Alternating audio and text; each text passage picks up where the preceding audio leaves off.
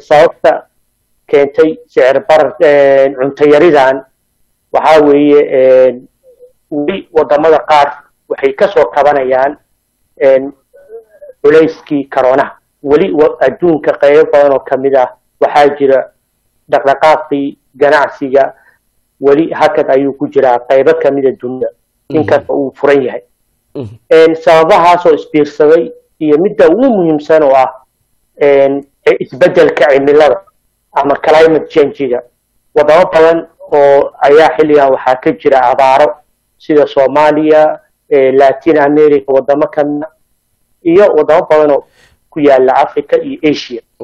Marka sababahaasoo la isku daray waxay keeneen in la dareemo cabsi xagga cunto yarida adduunka. ah waayahay doctor axmed markaan eegnoo kale wadamo indonesia ay qayb ka tahay waxay joojiyeen sida wararku qaar ay tilmaamayaan in ay dhoofiyaan saliidii iyo sidoo kale agabyadii kale la xiriira qutul daruuriga oo ay soo dhoofin jireen ama waddamada caalamka ay u dhoofin jireen.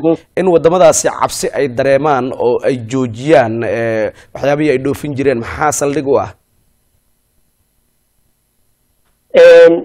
waxyaalo badan ayaa sabab u ah waddamada waxa ay dhoofin jireen yareeyey ama xakameeyey keliya indonesia ma ahan hindiya ayaa ka mid ah oo qamadiga iyo qoyska la xiriira qamadiga yareeyey inay dhoofiyaan. Sabab badan ayaa jira. Laba arrin ayaa ugu muhiimsan. Midda koowaad cabsi ay ka qabaan in adduunka dagaalkan ruushka iyo ukraine inuu faafo ama in lagu xallin waayo muddo dhow waa waa cabsi koowaad. Midda labaadna waxay tahay waddamada qaar ayaa waxay ka fakirayaan maadaama sicir barar xoogan uu ka jiro wadamadooda si sicir bararka ay ula dagaalamaan waxay ku qasban yihiin in ay xakameeyaan waxa ay doofinayaan sababtoo ah haddii wax badan ay dhoofiyaan waxay ka dhigan tahay in bulshadii waddanka ku noolaa ay wax heli waayaan. Marka cabsi ayagoo ka qaba in waxa ay dhoofinayaan ay saameyn ku yeelato sicirka iyo alaabta ama raashinka ay helayaan dadka muwaadiniinta ah.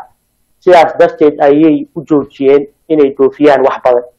Waxaa muhiima in bulshada ay ogaan soomaaliya raashinka iyo waxyaalaha nolosha aasaasiga u ah. Intooda badan waxaan ka keensanaa dibadda.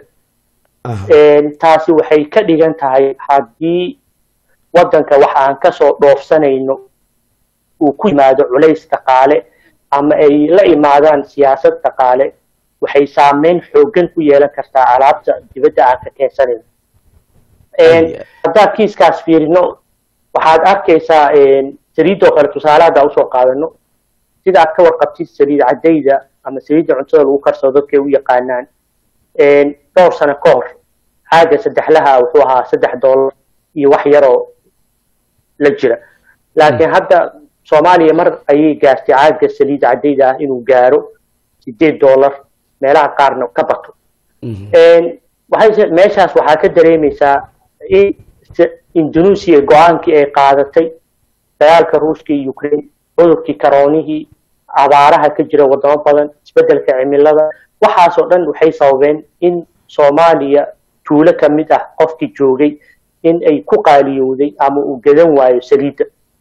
Marka meeshaas waxaa ka dareemaysaa in go'aanada wadamadu ay qaadanayaan ilayska dhaqaale ee ka jira wadamadaas inuu saameyn ku yeelan karo soomaaliya. Waana sababta keentay xilligan in soomaaliya uu sicir uu ka jiro gaar ahaan cuntada iyo waxa la mid ah. Tusaale burka laba sano ka hor iyo maanta qiimo maahan. Bariiska waa la mid sokorta waa la mid saliidda waa la mid waxaasna waxaa sabab u ah dibadda aan ka keensanayno marka adduunkana wuu isku xiran yahay oo sida aad ka warqabtid. Haddii meel uu ka dhaco culays dhaqaale waxay u badan tahay inuu saameyn ku yeesho. Wadamo aada uga fog waddamada uu culayska uu ka dhacay. Ugu muhiimsan waxaa weeye keliya un in dadku ogaadaan adduunka xilliga cabsi waxaa jirta cunto yari. Cabsidaasna cilmi baaris la sameeyey ama dadka qaar oo khubarada ah waxay ku sheegeen sida bilowgii barnaamijka ku sheegnay karoonaha colaadaha dunida ka jira isbeddelka cimilada iyo nidaamkan ah xakameynta wax dhoofinta waddamada qaar. Intaas waxay keeneen in sicir barar uu ka dhaco dunidii qiimihii maciishadii iyo shidaalkii iyo gaaskii. Taasina waxay keentay in ay saameyn ku yeelaso waddamada adduunka sida aad hadaayi ka dhawaajisana waxay aada u saameysay. Wadamada ligooda u hooseeyo sida soomaaliya oo kale. Marka waxaa muhiima taladaydu waxay tahay in soomaaliya laba arrin la sameeyo waa muhiim. Hadda xaaladan taagan in lagu baraarugsanaado oo la ogaado in culays uu jiro xagga raashinka. Annagana dibadda aan ka keensano waxa ugu badan. Soomaaliyana ay ka jirto abaaro. Marka un in dadku ogaadaan waa muhiim midda labaad waxay tahay in mustaqbalka fog laga fikiro in soomaaliya aysan ku tiirsanaanin raashinka ay banaanka ka keensadaan oo dadku ay maal gishtaan wax soo saarka gudaha.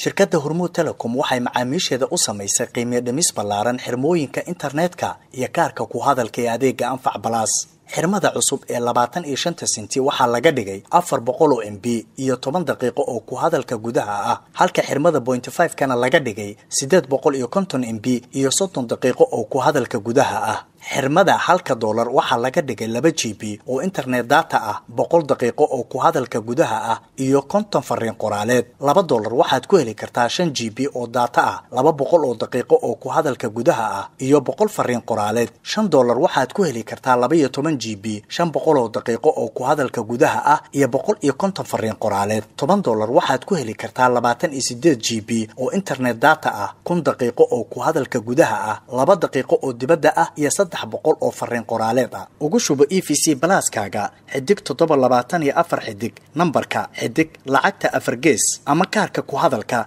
xidig boqol labaatan iyo lix afar gees kadibna raac tilmaamaha